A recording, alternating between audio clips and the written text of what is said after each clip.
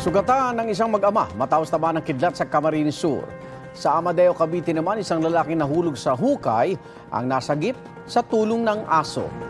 Darito ang unang balita. Naging pahirapan ang pagsagip ng mga otoridad sa isang lalaking nahulog sa isang hukay sa Amadeo, Cavite. Ang hukay ay may ilalim na 20 talampakan. Gumamit ng lubid ang isa sa mga rescuer para makababa sa nasabing hukay. Tumagal na mahigit 30 minuto bago na ilabas dito si Edison Sanay Jr.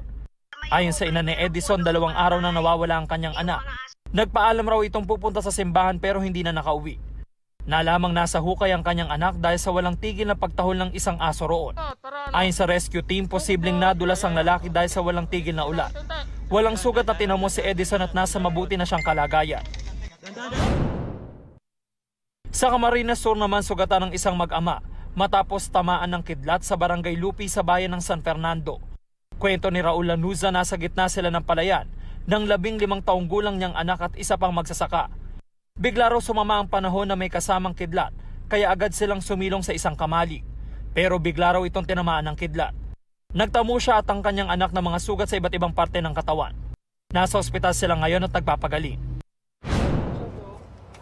Nasabat ng Bureau of Customs Region 10 na mahigit 15 million pesos na smuggled na carrots at sibuyas sa Mindanao International Container Terminal sa Tagoloan, Misamis Oriental.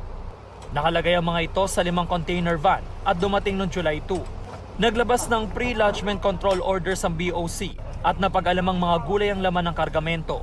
Pero dineklara itong authorized yeast in powder form. Kakasuhan ng BOC ang consignee. Sisirain at ibabaw naman sa lupa ang mga gulay dahil hindi ito dumaan sa food safety inspection. Yan ang unang balita. James Agustin, buong para sa Pilipino.